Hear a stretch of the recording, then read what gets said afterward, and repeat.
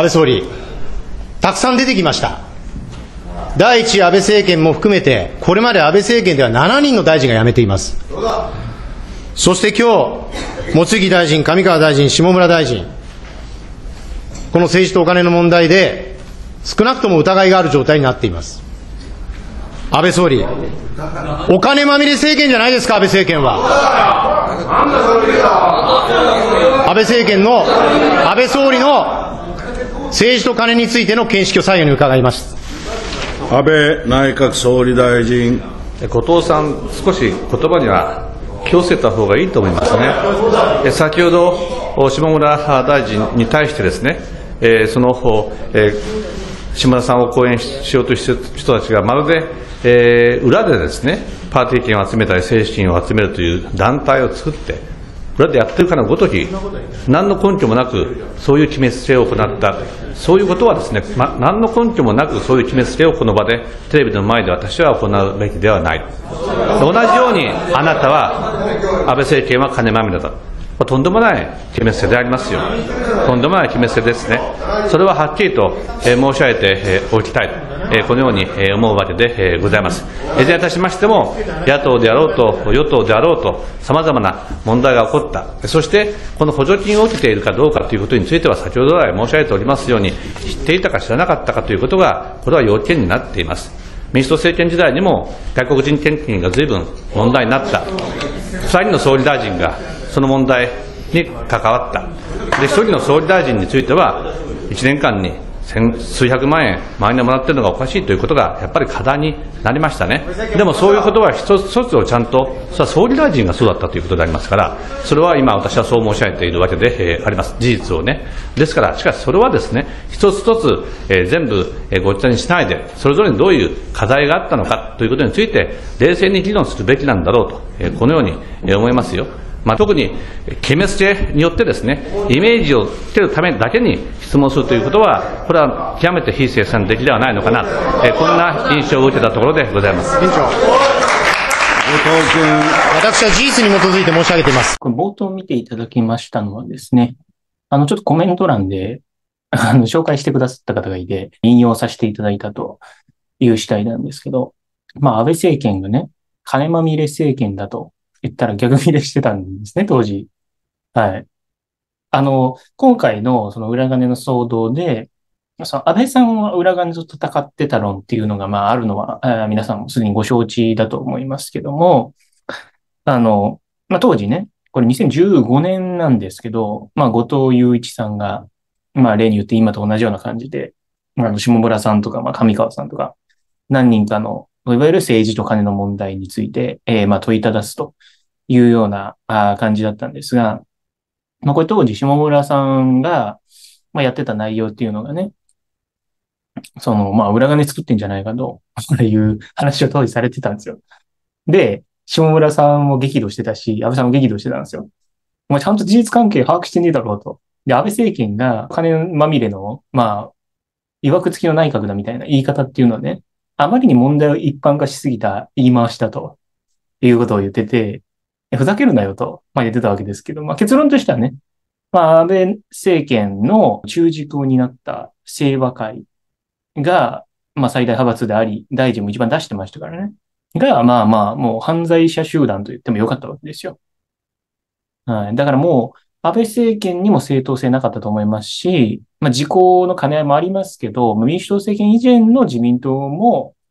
まあ、正当性がなかったと言ってもいいような、ま、ことを結論付けてもいいのではないかなと思いますね、私は。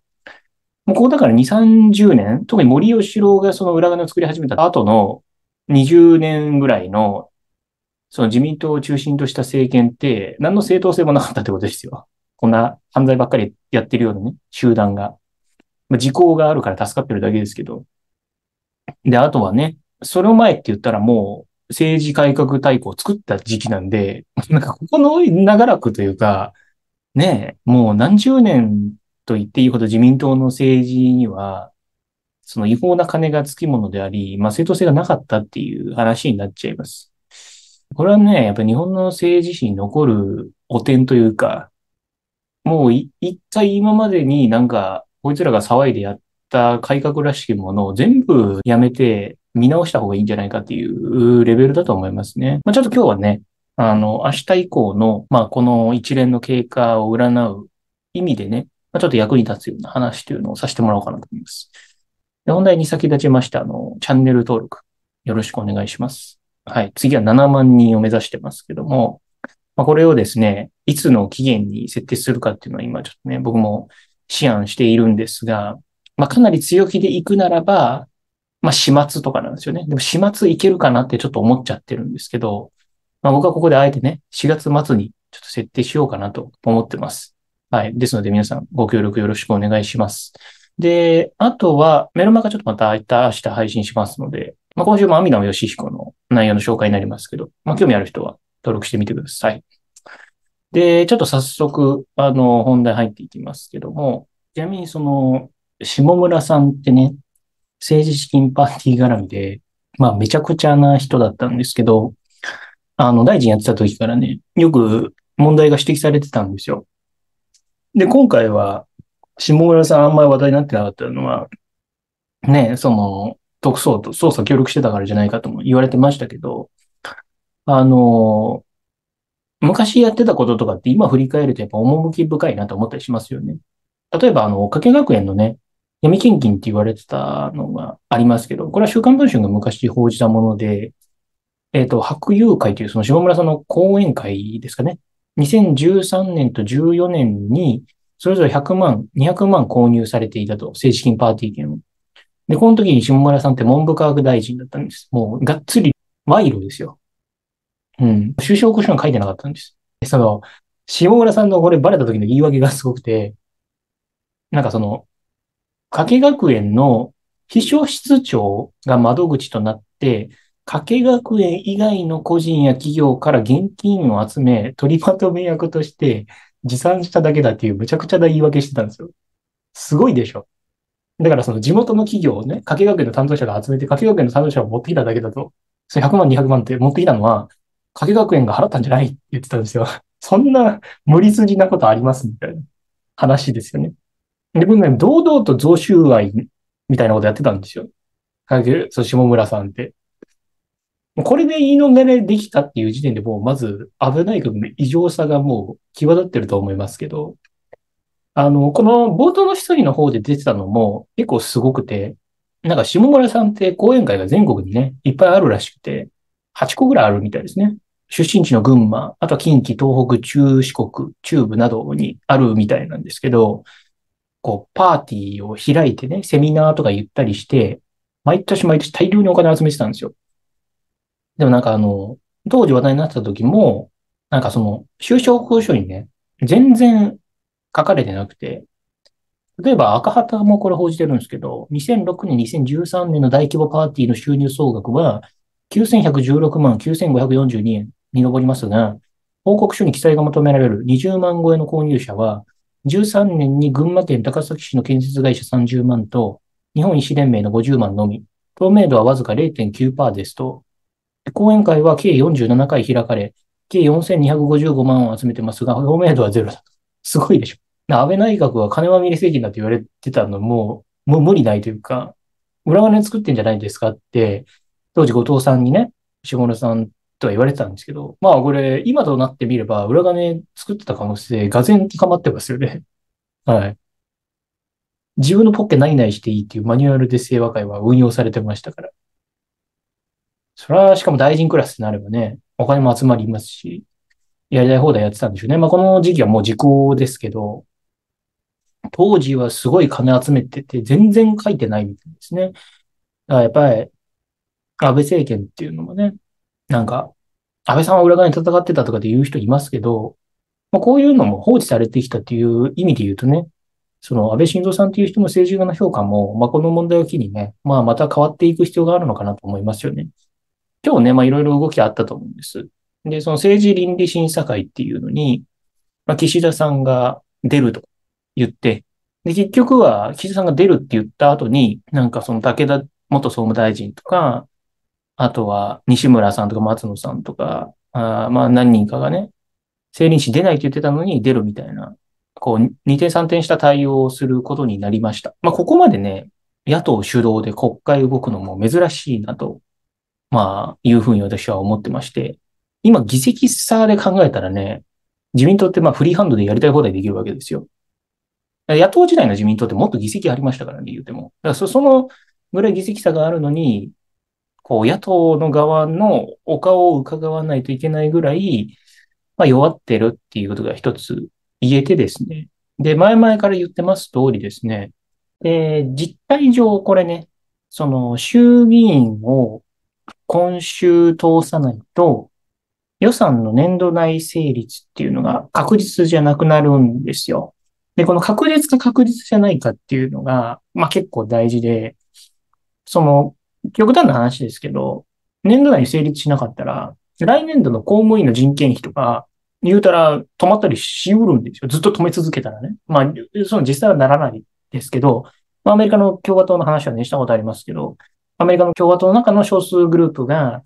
まあそういう予算を人質にしてね、実際にそのバイデン政権に嫌がらせするっていうようなことをまあまあやってたんですけど、まあまあそれと同じようなことが今起きつつあるんです。で、もちろんね、その衆議院通った後参議院で、どれぐらい日程議論しないといけないっていうのは別に明文化されてるわけではないんですけども、まあ無理くりやるっていう方法がね、なきにしもあらずなのかもしれませんけど、まあ明日、明後日政治倫理審査会っていうのをやることが決まったみたいなんで、まあ予算審議その間できませんと。で、3月2日までに通さないといけないっていうふうに、まあ自民党の議員の古谷先生がね、言ってるのを私紹介しましたけど、土曜日にね、急にいきなり採決だけやるなんていうのは、まあまあ難しいと思うんですよ。はい。今の自民党の岸田政権の体力で。うん。だからそう考えると、まあまあ実質的には衆議院の今週の通過っていうのはかなり難しくなったんじゃないですかね。これ衆議院通るか通らないかって本当に大きくて、通っちゃうと参議院では、まあ究極的にはその造反して否決しようがね、まあその採決が行われなかろうが、30日経てば衆議院の議決が国会の議決になるっていうルールが決まってるので、衆議院を通しちゃうと基本的には予算っていうのは、あとは、まあまあ岸田政権としてはのらりくらりという流れになっちゃうんです。ことここに来ては、衆議院で今通らなければ年度内成立が、まあまあ確実じゃなくなる。で確実じゃなくなると何が起きるかっていうと、参議院でも予算を人質に取った嫌がらせが実際的にかなり強く機能するっていう話なので、まあ参議院をあとは流せば OK っていうふうに自民党もできなくなっちゃう。短縮するために参議院でも例えば妥協しないといけないとかっていうふうに、ま、なるわけですよね。まあちょっと興味あること調べてみてください。まあね、維新とか国民民主みたいな、なんか野党としての小本文を忘れた野党がありますから、急に何言い出すかわかんないっていうのはありますけどね。まあ理屈上はね、明日、明後日政治日やって、二日採決みたいな、まあできなくはないですけど、4日前の24日、泉健太代表のコメントを見てると、立憲民主党がね、政倫審やって、ああ、そうですか、じゃあ審議に応じますとか、採決に応じますってなるかっていうと、まあ無理だと思いますよ。しかもまあ明日、聞くとこによれば、まあ枝野さんが立たれるみたいですけど、うん。まあ枝野さんとかが立ってね、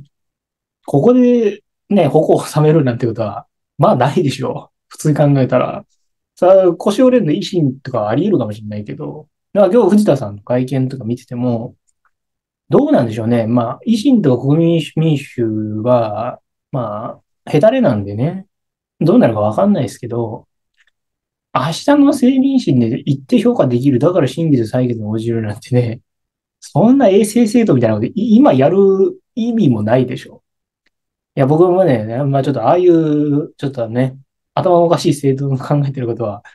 予想だにしないことがあるんで、あの、やっぱね、断言することはもちろん難しいですけど、泉健太大変のコメント見てる限りはね、政倫審で納得できる答えや、より多くの議員が語ることをしなければ予算審議はそう簡単に進めることはできないと、まあ言ってますから、明日も出てくる人の人数だけでも不十分だって話になると思いますよ、それは。うん。もうちょっと政倫審はね、僕の方でも配信はしようかなと思います。YouTube の方でね、やいるかもしれないです。これすごい大事なことなんで繰り返し言いますけど、あの、予算の採決とか、予算の議決って、単にお金の議論するっていう話じゃないんですね。これは僕もね、最初昔国会見てた時とか、その教科書で読んでた時とかってあんま意味分かってなかったんですけど、予算が採決して、イエスかノーかっていうのは、その翌年度、だから4月1日以降に、その行政をマネジメントする、まあ、内閣を信任するか否かの議決と言ってもいいわけですよ。言うたら、その公務員の給料払います。自衛隊の装備買います。外交でどっか行きます。でも全部金いるじゃないですか。で、全部金がいるんで、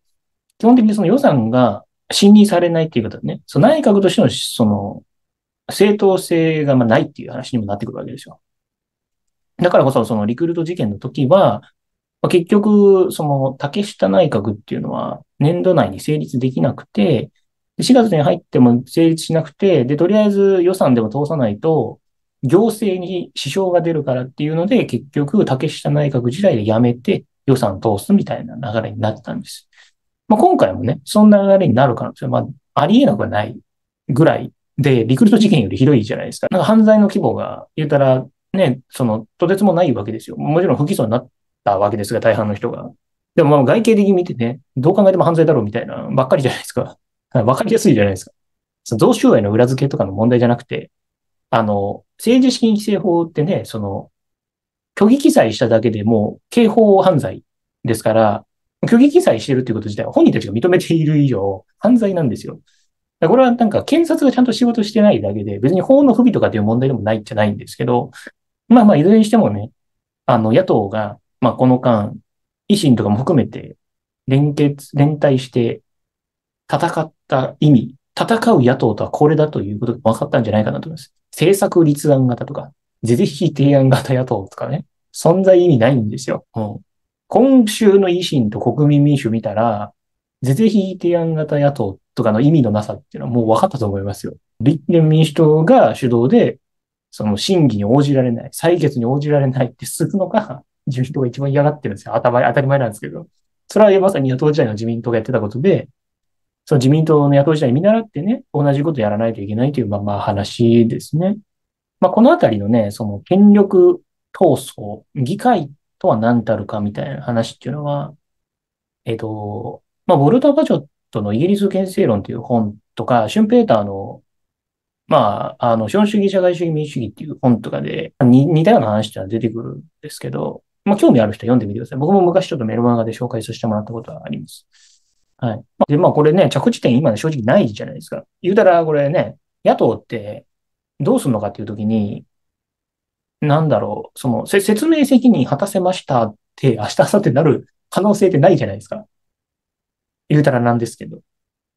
や、これで明日、岸田さんとかね、その西村さんとか出てきて、説明して、おお、そうかという可能性はないというか、その、維新とかですら、そんな評価できるとかって、いきなり腰折れたこと言ってもね、全然なんか受けないと思うんですよ。で、立憲民主党みたいなスタンス取った方が、まあ今支持率上がるから、まあそうした方がいいんですけど、まあそ、そ、それはもかく、だから衆議院で粘り切った。今週通さなかったっていう意味、意義は非常に大きいのであって、参議院の議論っていうのも、だから、そう、自動成立予算がしないんで、すごい意義が出てくるし、遅延行為っていうのがすごい役に立ってくるわけですよ。どんどん効いてくるって感じです。その後々に。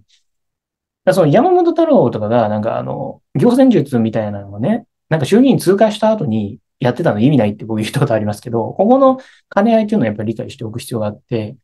今ね、参議院に予算案が移ったら、来週以降、まあ仮に通ったとしてですけど、通ったら、それは参議院であらゆる抵抗が意味を持ってきますよ。だから、ここ、長らく見なかった参議院の機能が最大化されている状態っていうのを、これまた見ることができるんじゃないかなと思います。3月は。ちょっと僕もね、3月の議論を見ていくことですが、参議院はね、しかも、質疑がね、片道方式とかなんで、まあ、よりね、あの、問題の論点っていうのが深まりやすかったり、その、時間稼ぎ答弁的なのが許されないんで、うん、なんか、今以上に岸田内閣の例えば支持率が落ちたり、自民党支持率が落ちたりっていうことも全然考えられると思います。で、4月にはね、補欠選挙あるんで、日程的にはね、自民党かなりね、土俵際まで結構追い込まれてると思いますよ。うん。すごい、だから日程的にはね、あの、そういうスケジュール感っていうのを意識して、国会見てもらうと、結構、まあ面白いのかなと思います。まあまあ野党としては、このままね、岸田内閣を自民党の支持率をどこまで下げれるかっていうところにかかってくるんじゃないですかね。うん。まあ明日の政倫審で、僕なんかここまでの自民党のなんか吸ったもんだ見てると、自民党またなんかやらしてくれ、やらかしてくれるんじゃないかなと思いますね。悪党もね、悪事が露見すると、これほど冷静さを欠いた対応してしまうというか、ぐだぐだになるんだっていう光景をまざまざと見せつけられてるわけですけども、それはね、あの、まだまだ苦しんでもらわないといけないですね。まあでも、どっちにしてもね、その政策活動費という、その、いわゆる、個人で、非課税で掴み金にされた後どうなってるかわからないっていう金と、企業献金だけはね、もう本当に自民党なくしたがらないんで、まあ、このね、妥協した対応を取ってるっていうのも本質にはそこがあるんですけど、まあ、自民党という集団を一掃しないとね、もうこの問題解決しないですね。なんか自民党っていう集団がね、だから、違法な金に依存した犯罪集団で、それで選挙に勝つことを状態化してて、それがないと勝てないっていう、まあ、状況なんだとしたら、これはもう自民党からまともな改革案が出てくるわけないですから、政権交代がないと思うんですね。政権交代する、なんか準備っていうのをね、野党にしてほしいなと思いますね。まあ、一旦ちょっと今日の話はこれぐらいにさせてもらおうかなと思います。えー、ご覧いただきましてありがとうございました。